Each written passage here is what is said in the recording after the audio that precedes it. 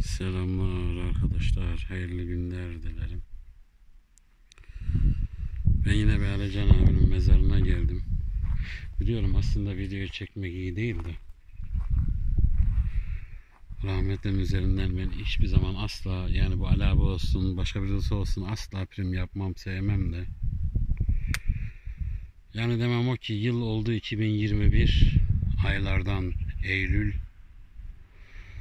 4 sene olacak. Hemen hemen 4 sene diyebiliriz. Vefat edelim. Rahmetli tırcı biricik abimiz. O gırgır şamata neşeli insan. Maalesef bundan yaklaşık 4 sene önce Hakkın rahmetine kavuştu ne yazık ki kalp krizi sonucu. Erken yaşta onu bizden aldı Rabbim. Mekanı cennet olsun. Nur içinde yatsın. Hepimiz bayağı bir üzgünüz tabii ki. Birçoğumuz onu hiç görmeden, tanımadan sevdi. Daha hiç görmeden. Yani söyleyecek pek fazla bir söz bulamıyorum. Bu da Ali abinin lafı işte her gününü ölecekmiş gibi yaşa diye. Gördüğünüz üzere. İki dua okudum. Mezarını suladım. Bir nebze de olsa. 49 yaşında maalesef gözlerini yumdu. Aynı bir kalp krizi sonucu. Mekanı cennet olsun. Valla ne diyeyim diyecek bir söz bulamıyorum. Bu videoyu da fazla uzatmak istemiyorum. Arkadaşlar tanımayanlarınız vardır. YouTube'a Alex745 Alejandro diye yazın. Veya Alecan diye.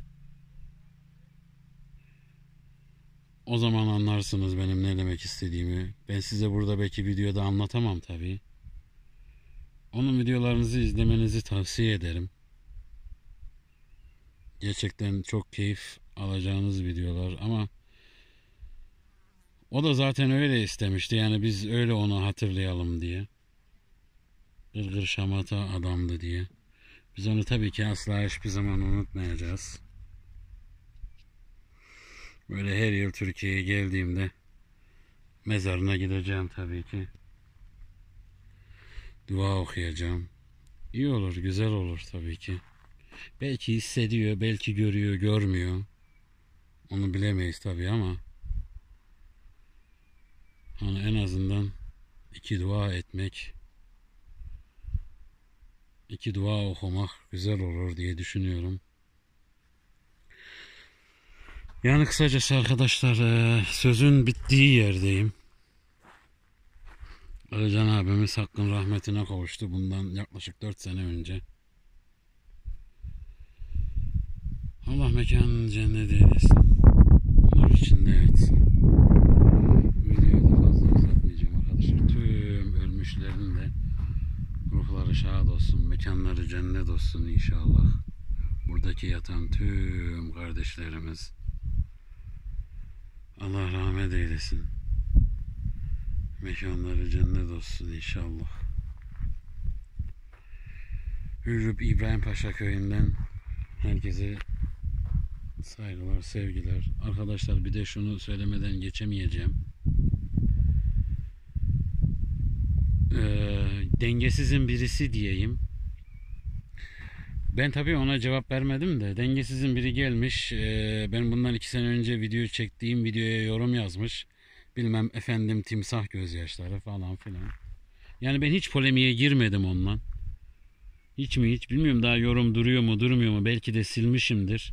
Bana ne zaman yazdı sonbaharda mı ne yazdı bu sene içinde herhalde yazdı. Veya geçen sene miydi neydi? Kışın sonbahar falan.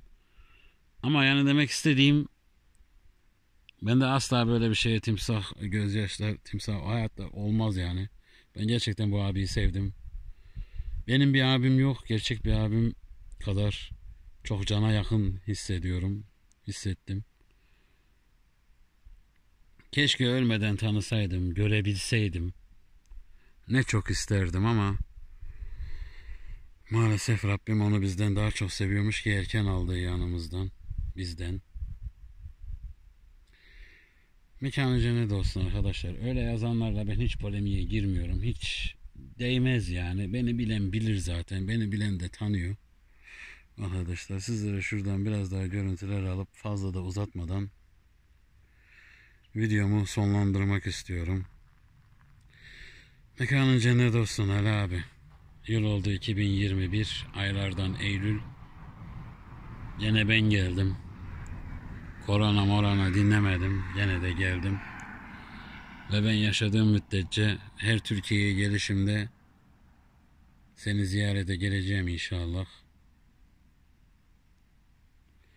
Mekanın cennet olsun Ali abi.